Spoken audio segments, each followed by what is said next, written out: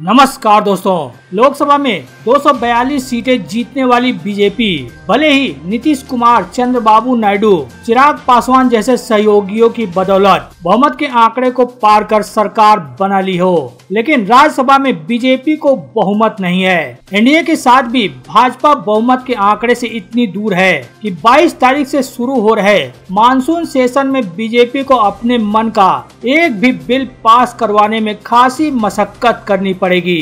इसकी वजह सिर्फ़ और सिर्फ़ लोकसभा चुनाव है जहाँ बीजेपी ने अपने उन नेताओं को अपना विरोधी बना लिया है, जो कभी मुसीबत के समय राज्यसभा में दोस्त हुआ करते थे और जिनकी बदौलत बीजेपी बहुमत के आंकड़े से दूर रहने के बावजूद अपनी मर्ज़ी के बिल पास करवा लेती थी।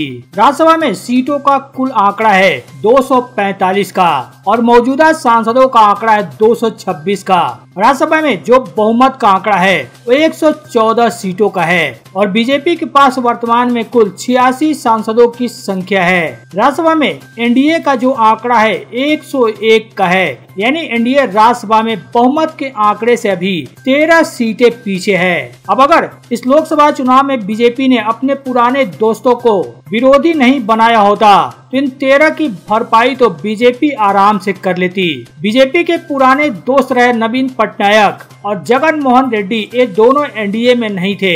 इसके बावजूद कम से कम राज्यसभा में तो बीजेपी के दोस्त हुआ करते थे, लेकिन इस बार के लोकसभा चुनाव और फिर ओडिशा, आंध्र प्रदेश में हुए विधानसभा चुनाव के बाद परिस्थितियाँ बदल चुकी हैं। ओडिशा में जिस तरह से बीजेपी ने उसी बीजू जनता दल और उसके मुखिया नवीन पटनायक को सत्ता से हटाया, जिनकी मदद से वो राज्यसभा में अपने चाहते बिल पास करवाती रही है। आंध्र प्रदेश में भले ही बीजेपी ने सीधे तौर पर जगन मोहन रेड्डी को न हटाया हो। लेकिन हटना तो जगन मोहन रेड्डी को भी पड़ा है उन्हें हटाया है बीजेपी के सबसे बड़ी सहयोगी पार्टी, टीडीपी ने, जिसके मुखिया चंद्रबाबू नायडू हैं, जो कि नायडू की पार्टी, यानी टीडीपी एनडीए का हिस्सा है, और मोदी सरकार में उनके मंत्री भी हैं। अब इस लिहाज से नवीन पटनायक के नौ राज्यसभा सांसद और जगन मोहन रेड्डी के 11 राज्यसभा सांसद, यानी कुल मिलाकर राज्यसभा में इन दोनों के 20 राज्यसभा सांसद हैं। अभी 20 राज्यसभा सांसद अब बीजेपी के साथ नहीं है। लिहाजा बीजेपी चाहे जितनी भी कोशिश करे,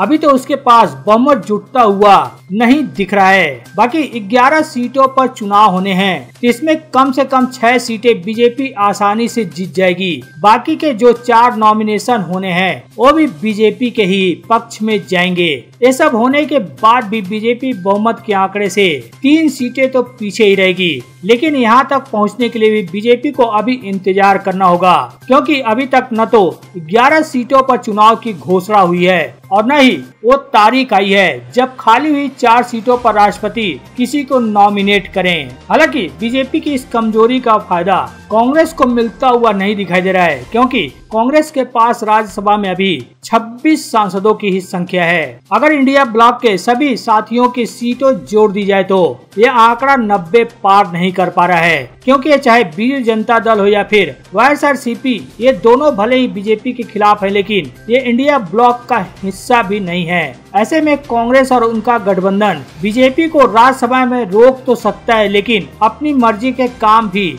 नहीं कर सकता है। रही बात सीटें भरने के बाद की। तो चुनाव और नॉमिनेशन के बाद भी राज्यसभा का आंकड़ा 241 का ही होगा, क्योंकि जम्मू कश्मीर के चार सांसद तो अभी चुने जाने से रहे। ऐसे में बहुमत का आंकड़ा 121 का हो जाएगा, और तब 121 सीटों वाली एनडीए के पास 111 सीटें ही होंगी, और तब भी बीजेपी वाला एनडीए बहुमत से 13 सीटें दूर ही रहेगा। तो देखते हैं 22 तारीख को जो मानसून सत्र शुरू हो रहा है, उसमें बीजेपी कौन कौन से बिल लेकर आती है। और उससे भी ज़्यादा नज़र इस बात पर सबकी रहेगी कि बीजेपी कौन कौन से बिल पास करवा पाती है।